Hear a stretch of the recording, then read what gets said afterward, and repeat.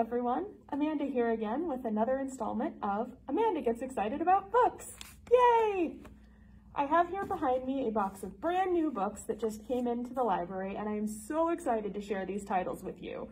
I have to admit I took a little peek in the box when I was bringing it in here and there are so many things in here to get excited about and so many books that you are going to want to check out. Just a reminder, everything that's in this box, everything that I'm about to show you is in our catalog right now and you can place a hold on it right now. So once it's all cataloged and processed, it will be ready for you. So if you see something you like, make sure to sign into the catalog and request it. Again, I'll try to keep this video from getting really long, so I may go through some of the titles pretty quickly, but hopefully you're as excited about all of these as I am. So let's get started. Our first title is by Emma Donoghue, who you may recognize as the author of Room. She's got a new one called The Pull of the Stars.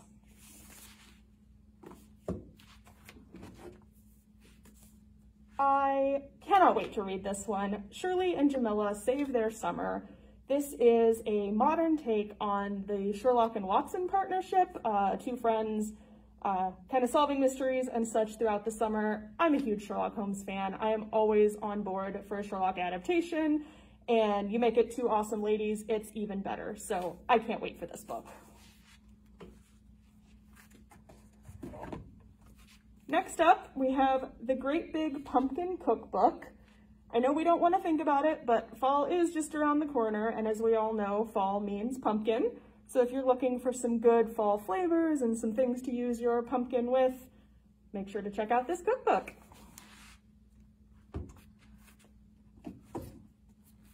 And while you're cooking, another one that I didn't know was coming out, but now have to check out that now that I've seen it, is Let's Bake, a Pusheen cookbook.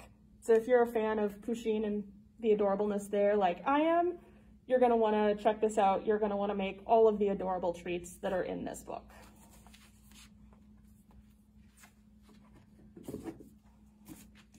Next up, we have The Unadoptables by Hana Tooke, a group of students, kids left at an orphanage, um, and some of the adventures that they get up to as a result of that.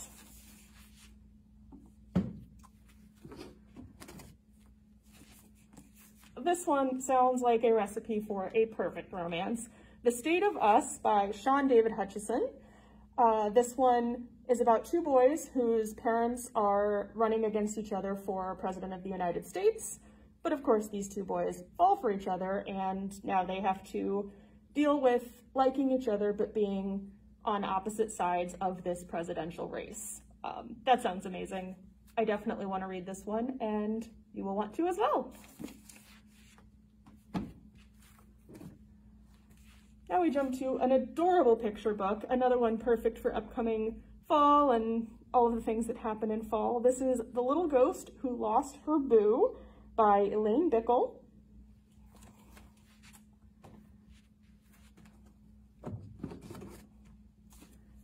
This is another one that I know I'm waiting for, I'm on hold for, I can't wait. This is The Amelia Six by Kristin Gray.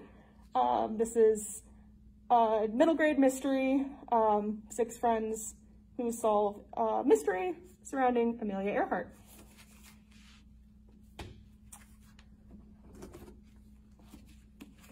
We all know that with the release of Midnight Sun, vampires are coming back in vogue, and we've got a new uh, and very exciting YA vampire book starting here by Caleb Roehrig called The Fell of Dark.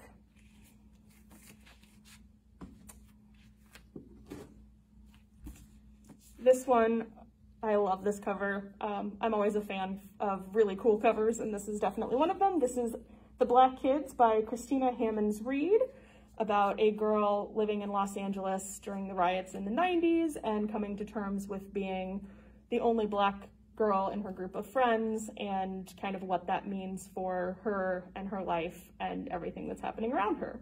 So quite timely.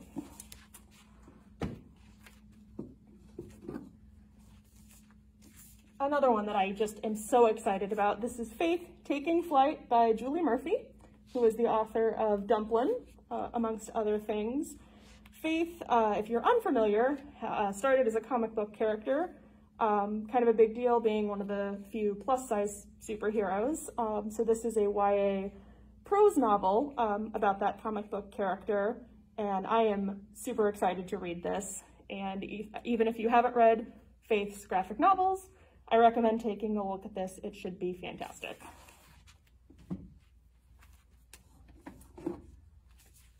We jump over to a little bit of adult nonfiction with this one. The answer is, this is Alex Trebek's uh, memoir that just is coming out here.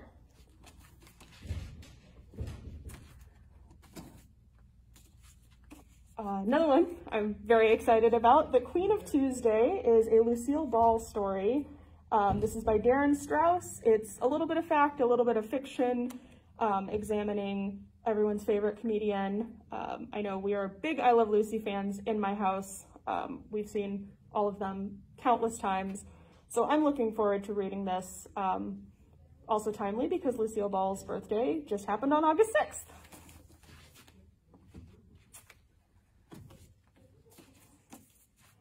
Sure to be a big one. This is a recent Oprah pick. This is Caste, The Origins of Our Discontents by Isabel Wilkerson. So definitely one you'll want to get your name on. Uh, Oprah picks are always quite popular.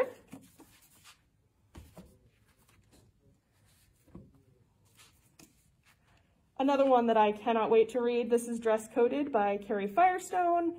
Uh, middle school girls who are tired of the sexist and unfair dress codes that they are subjected to at school, uh, so they decide to do something about it in the form of a podcast. I'm always a fan of strong young women taking a stand, standing up for themselves. So I am definitely going to be reading this one and I recommend that you do as well.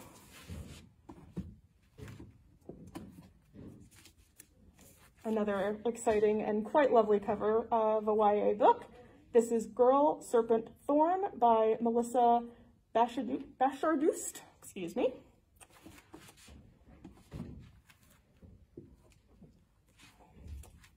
This one is sure to be a popular pick. Svetlana Chmakova comes back with another middle grade graphic novel, this time going into the world of the supernatural with the Wyrn books.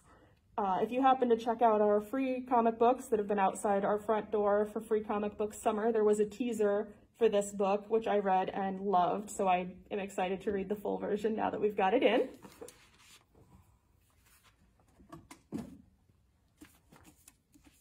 Next up, we have Thieves of Weirdwood. This is by Christina McKay Heidicker. Um, and this one is recommended for fans of Morrigan Crow and the Five Kingdoms and Aru Shah, a little bit of uh, fantasy, supernatural. Um, looks like it should be lots of fun.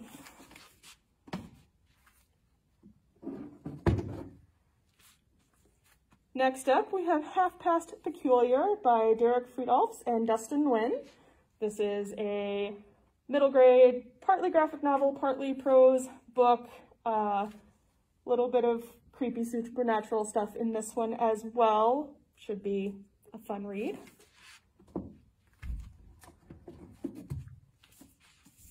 Again, I'm a sucker for those really gorgeous covers. Goddess in the Machine by Lora Beth Johnson.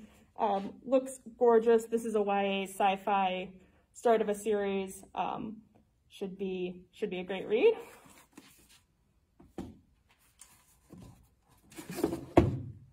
Next, we jump to another picture book that came in, Girl versus Squirrel by Hayley Barrett. Uh, that's an interesting standoff. I'm not sure who's going to win, the girl or the squirrel, so I'll have to read it and find out, and so will you.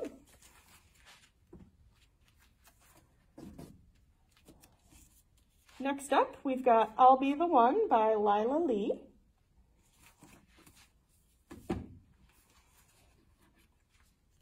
Feel like we've got a few in this box that'll be good for creepy season coming up. We have Little Creeping Things by Chelsea Ichaso.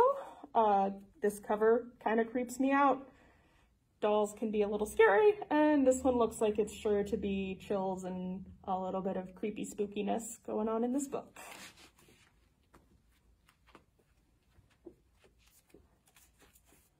We jump into some lovely steampunk here with this young adult graphic novel, City of Secrets by Victoria Yang.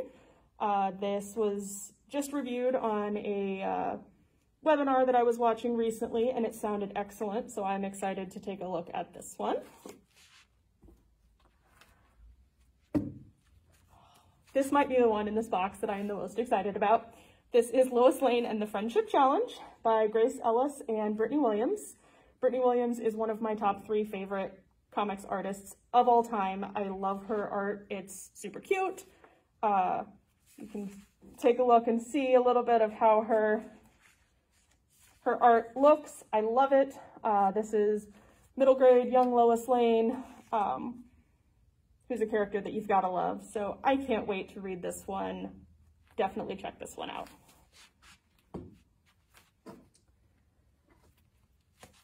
Then we take a jump to another audiobook that's just come in, a new James Patterson. So again, one you'll want to get your name on if you don't already. This is The Midwife Murders.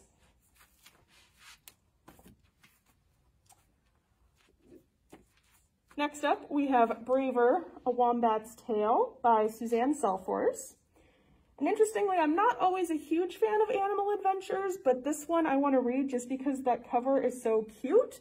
And our little wombat friend here is just adorable. And so I want to find out all about the adventures that this little one is going on. And our final book on this box, another one that will probably have some people waiting. Uh, if you're a fan of James Lee Burke, the newest uh, book of his, A Private Cathedral. Thank you so much again for going through this box of books with me. I hope that you saw some things that you're as excited about as I am. Again, all of these can be requested in our catalog right now, so definitely jump on and request any of the ones that you want once they're all ready. And enjoy them when you get them. Thanks again for joining me, and I will see you next time.